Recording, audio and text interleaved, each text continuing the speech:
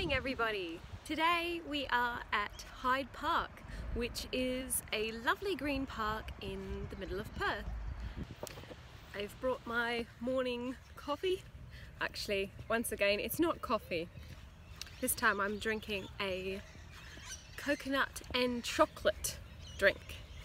Dharam and I love coming here when we've got some time with the children um, because it's just really lovely and green and we love the deciduous trees that are planted around here as well as it reminds us of our time in England because obviously of the name Hyde Park there is one in London called Hyde Park as well as because it's just laid out very similarly to the London city parks. It has this lovely duck pond in the middle. It's quite large really and then it has a, a big circular loop um, where you can walk or ride or rollerblade all the way around the lake.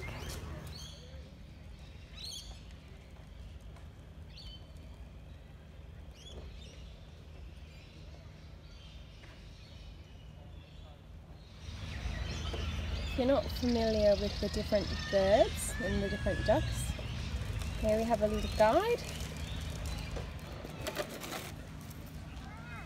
I'm reading this plaque here which talks about the history of this place which apparently the early European settlers called Third Swamp.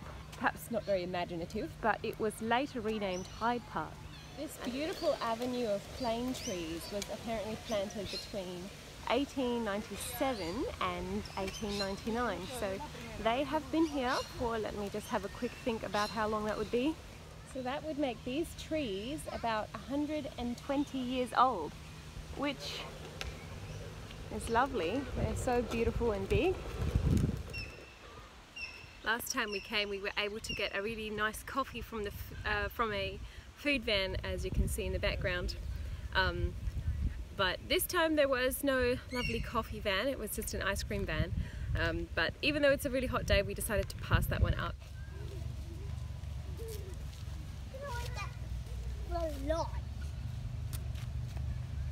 Do you like watching the ducks?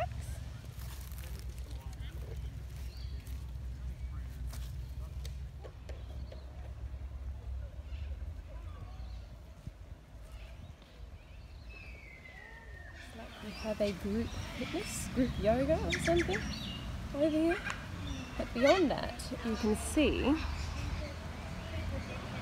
the very popular coffee spot. It always seems to have a line out the front.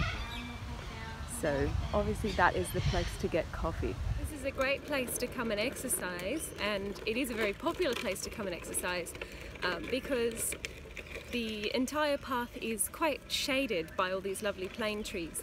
So even on a warm day like today, it's um, yeah, not too hot.